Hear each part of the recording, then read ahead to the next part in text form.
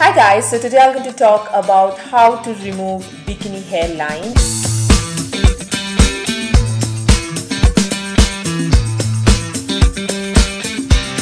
As most of us prefer a clean bikini line because of the hygiene factors.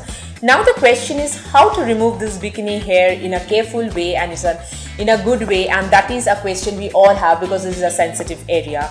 Now most of us go to parlor but बहुत सारा लोगों को bikini line remove करने में comfortable नहीं होता है।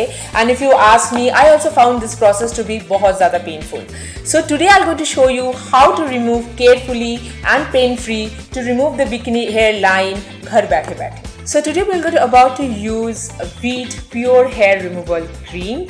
I know hair removal cream are pain free but you know this Veet has so much to offer.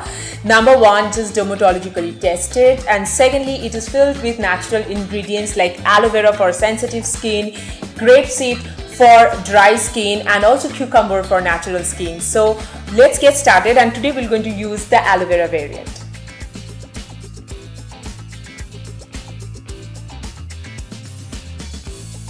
So I'll show you how to use this by applying on my legs. But same procedure bikini line पर भी use कर सकते हैं इसे करने से पहले do read the pack instruction carefully Okay, so the first thing I've noticed when I open the pack is that it smells amazing. Ensure an even spray on the target area.